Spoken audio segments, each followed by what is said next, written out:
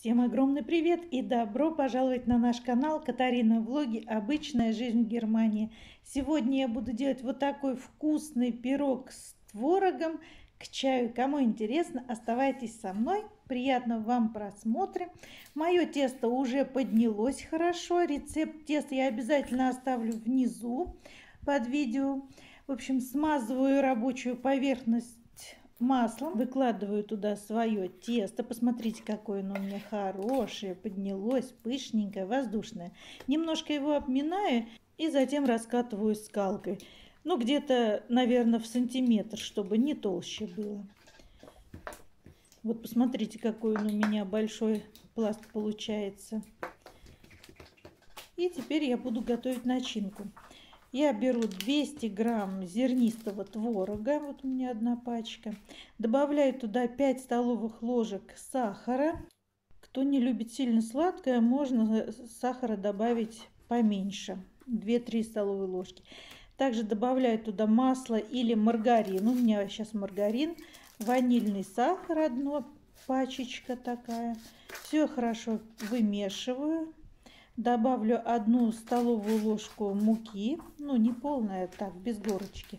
Также перемешиваю, добавлю сюда белок, желток оставлю для смазки пирога, чтобы он был красивый. Все вымешиваю и выкладываю все на свой пласт. Все хорошо вот так вот распределяю его равномерно по своему тесту. Разрезаю потом напополам вот так и буду каждую часть скручивать рулетиком. Вот так потихонечку, чтобы э, равномерно он закручивался. И все вот так вот скручиваю рулетиком. Теперь быстренько смазываю свою форму маргарином. И выкладывать буду туда булочку свою. Рулетик я разрезаю напополам и переплетаю все жгутиком. Работать надо быстро, чтобы тесто не развалилось, не разлезло.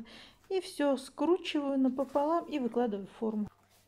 И также я поступлю со второй э, половинкой. Сначала скручу его рулетиком, затем разрежу напополам, сверну э, жгутиком, вот так вот, складываю напополам и аккуратно выкладываю в форму. В желток добавляю немножко молока, перемешиваю и все хорошо смазываю.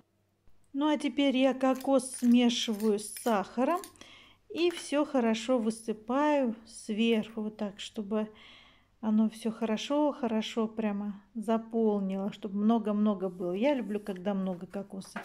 И все, отправляю на расстойку минут на 30. Тесто у меня поднялось, и я отправляю свой пирог в духовку на 30 минут. Очень мягкий, воздушный. Сейчас я его выложу. Я не могу понять, почему на камеру он у меня как бы сгорел. Сейчас на свет. Ну и тут тоже.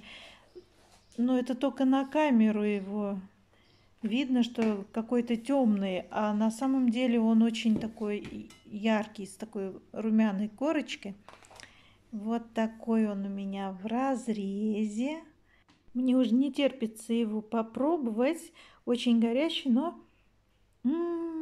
очень-очень вкусный. Очень вкусный, очень нежный, творожный, кокосовый. Очень вкусный. Ребят, сготовьте такое чудо к чаю, и вы не пожалеете. Все домочадцы будут рады. Ну а мне остается пожелать вам хорошего дня, хорошего настроения, всего самого наилучшего. Всем пока и до новых встреч!